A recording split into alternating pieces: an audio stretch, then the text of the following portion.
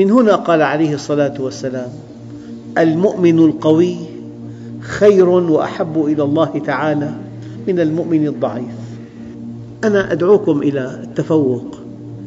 الدنيا كما ترى نأكل ونشرب وننام.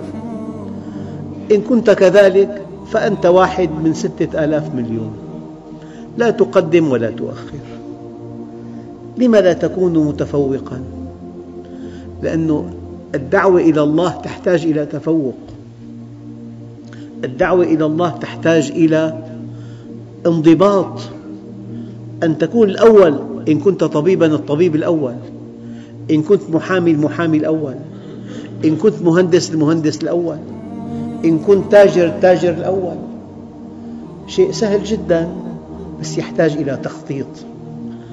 إخوتنا الكرام والخبر مؤلم جدا أنه بالمئة شاب ما في إلا ثلاثة يعرفون أهدافهم ويتحركون نحوها. بالمئة شاب. ثلاثة بالمئة فقط. هدف واضح. أنت الآن ماذا تريد أن تكون حينما تتخرج من الجامعة؟ تحب أن تكون عالم، تحب أن تكون طبيب، تحب أن تكون يعني تاجر كبير صناعي، فكر. كلمة قرأتها قبل أربعين عام ولا أنساها. إن القرار الذي يتخذه الإنسان في شأن مصيره قلما تنقضه الأيام إذا كان صادراً حقاً عن إرادة أو إيمان. أقول لك بشكل واضح.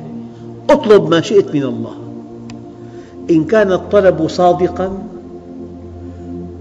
وقدمت الثمن وهو السعي. ومن أراد الآخرة وسعى لها سعيها فلا بد من أن تصل إلى هدفك. هذه حقيقة. أنت علاقتك مع الله علاقتك مع الذي بيده كل شيء. قال لك عبدي اطلب تعطى لا أكلفك إلا أن تطلب بصدق.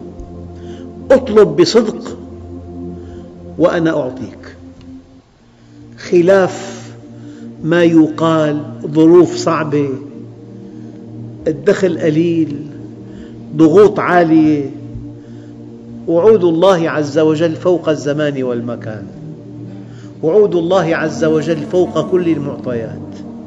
وعود الله عز وجل فوق كل الظروف. ومن يتق الله يجعل له مخرجا.